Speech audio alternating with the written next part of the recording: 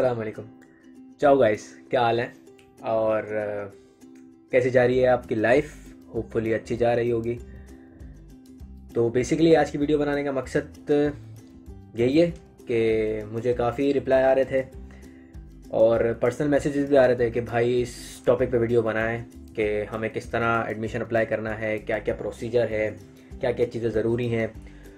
तो सॉरी उन लोगों को कि जिनको मैं रिप्लाई नहीं दे पाया, क्योंकि कुछ टाइम से मैं काफ़ी बिज़ी हूँ, जिसमें मेरे को, मुझे ना टाइम मिल पा रहा है कि मैं वीडियो बनाऊँ और ना ये टाइम मिल पा रहा है कि मैं एक एक बंदे को जवाब दे पाऊँ, ठीक है?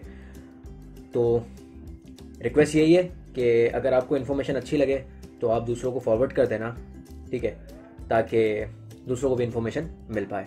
अच्छा बात आते हैं। मेन बात यह है कि लोगों ने पूछा कि एडमिशन किस तरह अप्लाई करना है। सिंपल प्रोसेस है, कोई मसला नहीं है। मेरे टाइम पे भी मुझे यही मसला हुआ था कि मुझे कोई बता नहीं रहा था। और अगर कोई बताता भी था तो प्रॉपर तरीके से नहीं बता पा रहा था। क्योंकि एक सही बात है, क्योंकि यार यूरोप की लाइफ बिज़ी लाइफ है, हर कोई आपको प्रॉपर जवाब नहीं दे पाता। तो भाई, दूसरों का आसरा छोड़ो, खुद से रिसर्च करो, खुद से सर्च आउट करो। यार हर चीज़ नेट पे मौजूद है, हर चीज़। अगर आप पहला स्टेप ही खुद से नहीं लेना चाह रहे तो आप यूरोप में कैसे सर्वाइव करोगे यार? यहाँ पर आके भी दूसरों पर क्या डिपेंड रहोगे? नहीं यार, यहाँ की लाइफ इंडिपेंडेंट जीने वाली है। खुद अपने आप को स्टेबल करो, इस काबिल बनाओ कि यार ज़रूरत नहीं है किसी की। तो मैंने काफ़ी ग्रुप्स पे भी देखा ये, यही टॉपिक कि किस तरह अप्लाई करना है कौन कौन सी फ़ीसें हैं, हमें फ़ीस किस तरह देनी है। तो मैं इस वीडियो में आपको सब क्लियर करूँगा। तो गौर से देखना और पूरी वीडियो देखना ताकि आपको सब प्रोसेस समझ में आ जाए। पहली बात एडमिशन के लिए आपको जो चीज़ें रिक्वायरमेंट है वो बता रहा हूँ। पहली रिक्वायरमेंट कि आपके पास आपका एफएससी सर्टिफिकेट और आपके एफएससी की मार्कशीट होना ज़रूरी है, ठीक है? दूसरी चीज़, आपने आइल्स करना है। ये बात दिमाग में बैठा लें, आपने आइल्स करना है। अगर कोई ये कहता है कि बिना आइल्स के हो जाता है एडमिशन या वीज़ा प्रोसेस तो यार वीज़ा तो बिना आइल्स के नहीं होने वाला। ये बात दिमाग में रख लो। एडमिशन हाँ हो जाता है। कई यूनिवर्सिटीज़ में आइल्स की रिक्वायरमेंट नहीं होती। लेकिन यार, कर लो ना। जब एक चीज़ बाद में आपने करनी है तो अभी कर लो। दूसरों के रिप्लाई पे डिपेंड ना करो कि यार, वो बंदे ने कहा कि आइल्स ज़रूरी नहीं है, मुझे नहीं करना। नहीं नहीं। खुद से डिसीज़न लो कि यार आइल्स करना है पॉजिटिव पॉइंट है। अगर यहाँ नहीं हुआ तो किसी और यूरोपियन कंट्री में या किसी दूसरी यूनिवर्सिटी में हो जाएगा। दूसरी बात हो गई आइल्स ठीक है? तीसरी बात, आपने अपने सारे डॉक्यूमेंट्स की। ठीक है? जैसे कि कुछ यूनिवर्सिटीज़ में रिक्वायरमेंट होती होती है कि मोटिवेशनल लेटर चाहिए होता है, या अपने टीचर का कोई लेटर चाहिए होता है कि भाई, मैंने इसको रिकमेंड रिकमेंडेशन लेटर होता है, ये सारी चीज़ें होती हैं। ये पता कैसे चलेगा?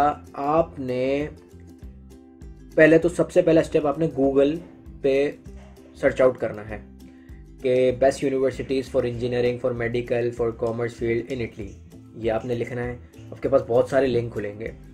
उस एक एक लिंक को आपने चेक करना है। अगर सामने आपके पास रिकमेंडेशन में अगर 40 यूनिवर्सिटीज भी आ रही है एग्ज़ाम्पल के तौर पे तो आपने 40 की 40 यूनिवर्सिटीज आपने सर्च आउट करनी है और उसमें गूगल में लिख लेना public universities free education in Italy free universities in Italy तो उसमें यूनिवर्सिटीज आ जाएँगी। आपने एक एक यूनिवर्सिटी को सर्च आउट करना है, उसका पोर्टल खोलना है, अपनी डिज़ायर फ़ील्ड जो है, उसको सर्च आउट करना है। जब आप ये सर्च आउट करोगे तो आपको एडमिशन रिक्वायरमेंट भी मिल जाएगी वहाँ पे। हर यूनिवर्सिटीज़ अपनी अपनी वेबसाइट्स पर सब कुछ मेंशन करती है कि भाई हमें आइल्स चाहिए, हमारी एडमिशन की फ़ीस होती है या नहीं होती, हमारा फ़ीस स्ट्रक्चर क्या है और हमारा एडमिशन टेस्ट होता है या नहीं। यार, खोलो तो सही वेबसाइट तो खोलो, सब कुछ मिलेगा। जब आप अपने तरफ़ से पूरी मेहनत कर लोगे ना, फिर आप लोगों से पूछो कि यार ये मसला आ रहा है तो वो आपको गाइड करेंगे। ठीक है? तो पहली बात क्या थी कि आपने खुद से सर्च आउट करना है यूनिवर्सिटी आपने सेलेक्ट करनी है, अपना कोर्स सेलेक्ट करना है, फिर कुछ समझ नहीं आ रहा तो कोर्स के कोऑर्डिनेटर होते हैं, जो इंटरनेशनल ऑफ़िस में होते हैं, उनको ईमेल कर दो कि मुझे ये मसला आ रहा है या ये मुझे समझ नहीं आ रहा, आप मुझे ज़रा गाइड कर दो। तो वो गाइड करते हैं। मेरे टाइम पे भी ऐसा ही हो रहा था। तो मैंने भी यही किया था। मैंने भी खुद से सर्च आउट किया। रात को तीन तीन चार चार बजे तक जाग कर मैं ये चीज़ें सर्च आउट करता था कि मुझे किस यूनिवर्सिटी में जाना है और किस तरह अप्लाई करना है। तो इजी प्रोसेस है। करो, समझ में आ जाएगा। ठीक है? तो बता दिया मैंने। और जितने भी डॉक्यूमेंट चाहिए, वहाँ पे लिखा होगा कि कौन कौन से डॉक्यूमेंट्स की रिक्वायरमेंट होती है। उन सारे डॉक्यूमेंट्स की आपने एक स्कैन कॉपी बना के एक फोल्डर रखना है अपने कंप्यूटर में। ठीक है? और जैसे ही आप बैठोगे अप्लाई करने के लिए कि भाई मुझे ये ये तीन चार यूनिवर्सिटी मैंने सेलेक्ट कर ली है जिसमें मुझे कोर्स में मिल जाएगा। तो आपने करना यह है कि एक साथ हर यूनिवर्सिटी में आपने अप्लाई करना जैसे तीन चार यूनिवर्सिटी हो गई तो आपने ऐसा नहीं करना कि मुझे तीन चार में से मैं इस, सिर्फ़ एक में अप्लाई करूँगा। नहीं नहीं नहीं। ज़रूरी नहीं है कि आपको उन तीन में से एक में से मिल जाए, ठीक है, जिसमें आप अप्लाई कर रहे हो।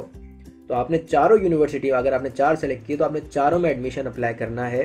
किसी एक से भी आपका एडमिशन लेटर आ जाए तो आप उसकी बेस पे वीज़ा अप्लाई कर देना। अच्छा मैं अपना अपना बताऊँ तो मेरे टाइम में ये हुआ था, मैंने तीन यूनिवर्सिटी में अप्लाई किया था। तीन में से मुझे दो में से एडमिशन लेटर आ गया था और एक में से नहीं आया था।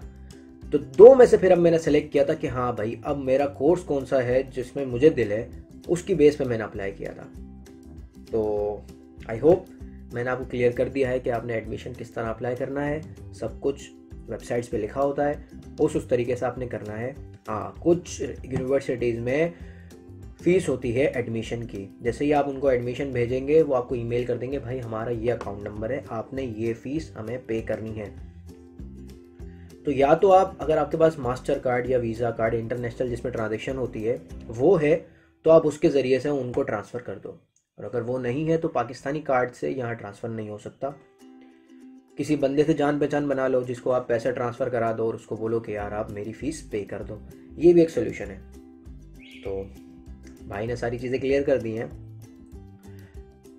तो अब आपसे रिक्वेस्ट ये है कि जिस जिस तरीके से मैंने बताया, उस उस तरीके से अगर आप एडमिशन अप्लाई करते हैं और अगर सक्सेसफुली आपका काम हो जाता है तो आप ज़रूर मुझे कमेंट में बताइएगा कि हाँ भाई आपने सही गाइड किया था एडमिशन आ चुका है। तो एडमिशन के बाद फिर अगर आपको स्कॉलरशिप की वीडियो चाहिए हो तो मुझे बता देना। तो फिर मिलते हैं नेक्स्ट वीडियो में।